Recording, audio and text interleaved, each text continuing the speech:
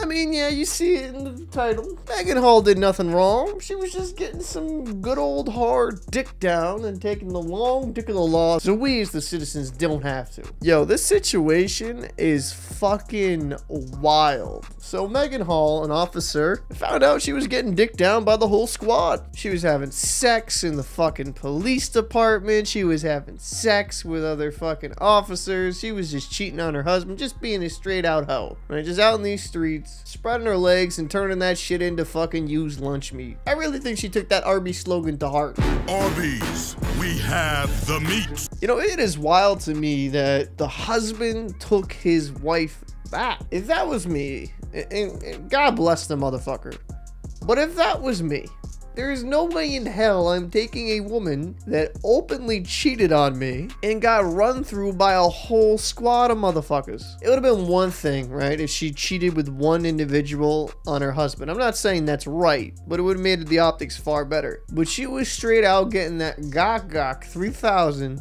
sucking dudes' dicks, fucking them raw, having dudes fuck her bareback while screaming stop resisting like this shit is wild to me there's no way any self-respecting man should take that woman back she is for the streets that is where she belongs she's not a housewife you can't make a hoe into a housewife fellas and a lady like that oof god damn that's just a mistake waiting to happen i'm gonna give you some real honest take here. The husband's also to blame because it seems like the husband kind of knew what was going on and turned all his blinders on. And some people, oh, that's victim blaming. I don't give a fuck.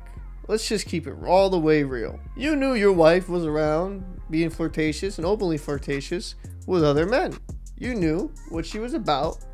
You married that chick understanding she ain't gonna be loyal And you gotta reap what you fucking sow. This dude should have been able to sniff out this bullshit from a mile away. Clearly, through the reports, it shows that he was upset in the way in which some people would act around his wife. Jedediah Hall needs to man up and move on to greener pastures.